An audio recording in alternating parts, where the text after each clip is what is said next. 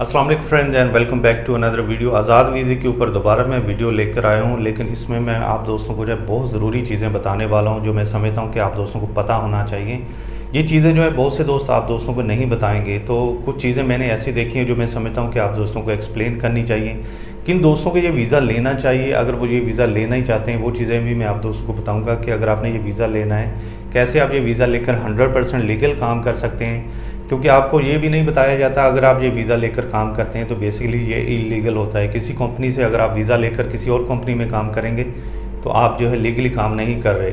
तो आपको इस तरह फ़ाइन भी हो सकता है डिपोर्ट भी किया जा सकता है। तो हर कोई अपना वीज़ा बेचने के चक्कर में ये काम करता है। तो मैं समझता हूँ कि आप दोस्तों को सारी चीज़ें जो हैं वो क्लियरली बता दूँ।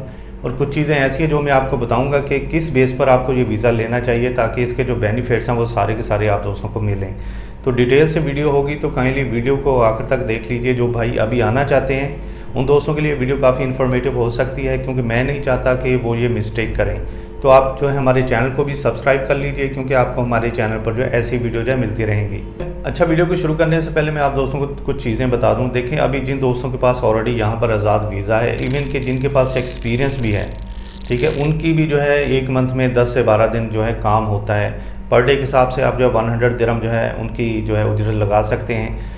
और अगर आप ये समझते हैं कि इतने दिन काम करके आप जो अच्छी खासी सेविंग कर सकते हैं, ये बात बिल्कुल गलत है। देखें आपकी कास्ट ही तकरीबन आठ हज़ार हो जाएगी अगर आप जो है लो कैटेगरी का वीज़ा भी लेते हैं।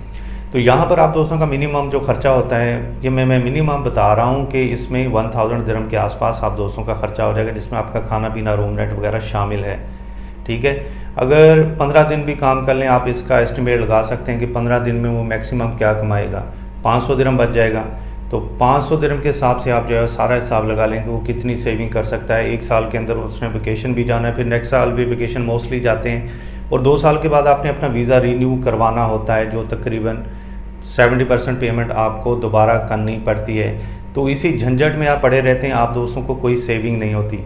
तो अभी मैं बताता हूँ कि जो भाई ये वीज़ा लेना चाहते हैं, उनको कहाँ से लेना चाहिए और किस पर्पज़ के लिए लेना चाहिए। अदरवाइज़ मैं आप दोस्तों को ये रिकमेंड करता हूँ कि आप ये वीज़ा ना ही लें। अगर आप जो है थोड़े बहुत पढ़े लिखे हैं स्किल है तो आप जो है उसी स्किल के साथ जो है विज़िट वीज़े पर आ जाएँ और आप जो है अपनी यहाँ पर लक आजमाएँ। तो इन अगर आपकी जो है लक में जॉब होगी, वो लाजमी आप दोस्तों को मिल जाएगी। अच्छा नंबर वन जो ये भाई वीज़ा लेना चाहते हैं, उन दोस्तों को मैं बताना चाहता हूँ, अगर आप ये वीज़ा लेना ही चाहते हैं, अगर आप समझते हैं कि आपकी एजुकेशन नहीं है, कोई स्किल नहीं है तो ऐसी कंपनी से लें जो आपको वीज़ा भी दे और अपनी कंपनी में ही काम पर रखे। देखिए, इसका बेनिफिट क्या है? इसका बेनिफिट ये है कि एक तो आपको जो है नेक्स्ट डे से वो कंपनी जो है जॉब पर भेज देगी और मिनिमम आप दोस्तों को जो है हंड्रेड के हिसाब से जो है उजरत मिलेगी। सेकेंडली आप जो है हंड्रेड परसेंट जो है लीगली उसी कंपनी में काम करते हैं। बेसिकली ये जो कंपनी होती है, जो वीज़ा आपको देती है, ये बेसिकली वीज़ा सेल करते हैं। बाई ला आप जो उसी कंपनी में ही काम कर सकते हैं, जिस कंपनी का आपका वीज़ा होता है। लेकिन हमें ये बोलकर बता दिया जाता है कि आप जो है हमारी तरफ़ से आज़ाद हैं, कहीं भी काम कर सकते हैं। इवन कि आपको एनओसी लेटर भी दे देते हैं तो फिर भी 100 परसेंट आप लीगल नहीं होते। तो ये चीज़ें होती हैं जो आपको अपने माइंड में रखनी चाहिए। अगर आप जो इस तरह का वीज़ा लेते हैं तो कोशिश करें उसी कंपनी से वीज़ा लें जो आपको जॉब पर भी रखें।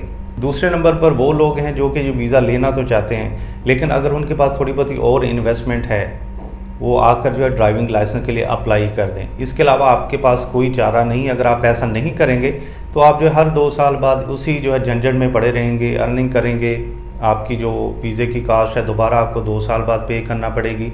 तो आप जो है कोई ख़ास अर्निंग नहीं कर सकते। देखिए, जब आप इस वीज़े पर आकर जो ड्राइविंग लाइसेंस ले लेंगे, चाहे वो किसी भी कैटेगरी का हो, आपका इससे मेन बेनिफिट क्या होता है? देखें एक तो जब आपके पास लाइसेंस आ जाता है, आपकी जो लाइसेंस की कास्ट होती है बाइक का लेंगे तो फाइव थाउज़ेंड के आसपास होगी और जो छोटी गाड़ी या किसी और का लेंगे तो टेन थाउज़ेंड आप जो है मैक्सिमम लगा लें। तो तीन से चार मंथ के अंदर अंदर, बल्कि तीन मंथ ही आप लगाएँ, सारी आपकी कास्ट निकल आती है। और इसका जो मेन बेनिफिट होता है, जो आपका दो साल का वीज़ा होता है, जब वो ख़त्म होता है, आप किसी भी कंपनी में जो है ड्राइवर की जॉब कर सकते हैं, वो कंपनी आपको फ्री वीज़ा भी देती है और जो कंपनी के अदर बेनिफिट्स होते हैं, वो सेपरेट होते हैं। अगर आप ऐसा नहीं करेंगे तो मैं नहीं समझता कि आपको ये आज़ाद वीज़ा लेना चाहिए। जो भाई भी ये वीज़ा लेना चाहता है तो कोशिश करें ये जो दो चीज़ें मैंने बताई हैं, अगर तो इनमें से कोई वो कर सकता है तो फिर ये आज़ाद वीज़ा ले। अदरवाइज़ मैं आप दोस्तों को यही रिकमेंड करता हूँ कि आप जो है यहाँ पर आकर जो फंस जाएँगे, या फिर कोई ऐसा काम हो जो आपको लगता हो कि आप जो है मंथली बेस पर इतनी अर्निंग कर सकते हैं।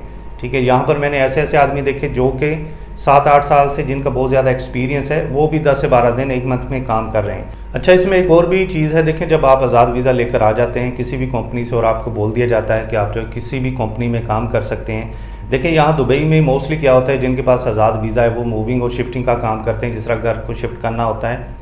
उसमें क्या होता है कि अगर पाँच आदमियों की जॉब होती है तो सबसे पहले तो कंपनी की रिक्वायरमेंट्स होती है, ऐसे आदमियों को भेजा जाए जिनका एक्सपीरियंस है, जिनका इस फ़ील्ड में एक्सपीरियंस है और प्रॉपर तरीके से काम कर सकते हैं। अगर उनको एक और एक्स्ट्रा आदमी चाहिए तो फिर आप दोस्तों को जो है लेके जा सकते हैं। तो ये चीज़ें भी मैटर करती हैं। दुबई में या किसी और कंट्री में भी जब आप जाते हैं आपको टाइम लगता है ठीक है? आपको एक्सपीरियंस हासिल करना पड़ता है। जैसे जैसे आपका एक्सपीरियंस होता जाएगा आपकी डिमांड बढ़ेगी तो स्टार्टिंग में ये इशू भी आप दोस्तों को आने वाले हैं ठीक है? तो बहुत से दोस्त ऐसे भी हैं जो मैंने देखे जिनका जो है रूम रेंट भी पूरा नहीं होता ठीक है? ख़र्चे की तो बात की बात है तो ये प्रॉब्लम भी आती है तो, तो ये सारी चीज़ें आपने अपने माइंड में रख कर आनी है। तो मैं नहीं चाहता जो दोस्त दूसरे गलती करते हैं आप भी ये गलती दोहराएँ। अगर आपने ये वीज़ा लेना ही है, जो चीज़ें मैंने बताई हैं, इन दोनों चीज़ों में से अगर आप जो कर सकते हैं तो ही आप ये वीज़ा लेकर आएँ। अदरवाइज़ मैं आप दोस्तों को रिकमेंड करता हूँ, आप ये वीज़ा लेकर ना आएँ। सेकेंडली अगर आपके पास कोई स्किल नहीं है तो आप अपनी कंट्री में स्किल सीख कर भी आ सकते हैं। तो मैं आप दोस्तों को रिकमेंड करता हूँ, अगर आपकी एजुकेशन कम है तो एसी या फ्रिज वगैरह की कोई स्किल सीख कर आएँ, क्योंकि आपको पता है कि गल्फ़ कंट्रियों में इनकी डिमांड बहुत ज़्यादा है, और आपको जो आसानी से इनकी जॉब मिल सकती है। तो बेसिकली वीडियो को बनाने का पर्पज़ ये था कि आप जो अपने पैसे ज़ाया मत करें। देखें, दो साल का वीज़ा होता है, इसमें आपके पैसे ज़ाया होते हैं। जब आप अर्निंग नहीं करेंगे तो इस वीज़े लेने का फ़ायदा नहीं है। और सेकेंडली ये 100 परसेंट लीगल भी नहीं है। तो मैं आप दोस्तों को वो चीज़ें बता रहा हूँ जो कोई दोस्त आपको नहीं बताएगा। ठीक है, जो मैं अपने एक्सपीरियंस के हिसाब से जो चीज़ें मैंने देखी हैं तो मैं वो आप दोस्तों के साथ शेयर कर रहा हूँ। क्योंकि आपको पता है कि मैंने काफ़ी वीडियोस बनाई है इसी टॉपिक के ऊपर। तो लोग बार बार वही गलतियाँ करते हैं। तो काइंडली आप भी ऐसी गलती मत कीजिए। तो ये थी वीडियो दोस्तों आज़ाद वीज़े के ऊपर। और कोई चीज़ आपने पूछनी हो तो काइंडली कमेंट सेक्शन में मैसेज करके आप हमसे जो है पूछ सकते हैं। होपफुली वीडियो इन्फॉर्मेटिव रही होगी। वीडियो अच्छी लगी तो लाजमी लाइक कर दीजिए और चैनल को भी सब्सक्राइब कर दीजिए।